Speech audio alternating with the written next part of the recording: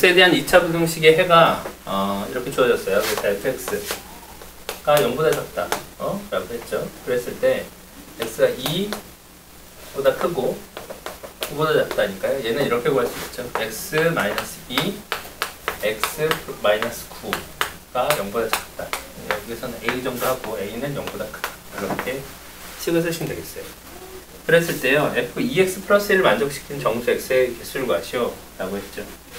그러면 2x 플러스 1이니까 x에다 2x 플러스 1 넣으면 돼. 그래서 a 2x 플러스 1 마이너스 2 2x 플러스 1 마이너스 9가 0보다 작다. 이렇게 풀면요. 2x 마이너스 1 곱하기 2x 마이너스 8 0보다 작다. 이렇게 풀면 되죠.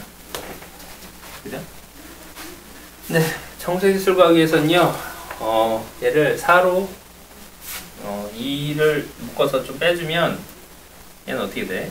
2 x 마이너스 2분의 1 이런 식으로 쓸 수 있고 얘는 2 x 마이너스 4 이렇게 할 수 있잖아요. 그러므로 얘는 4a 이렇게 쓴 다음에 x 마이너스 2분의 1 x 마이너스 4 0 이렇게 쓸다. 그러므로 얘는 다시 이 값은 x는 2분의 1분의 4 이렇게 쓰면 돼요.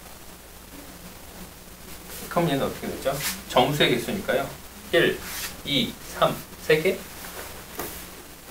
네, 그래도 3개. 이렇게 구하시면 되겠어요.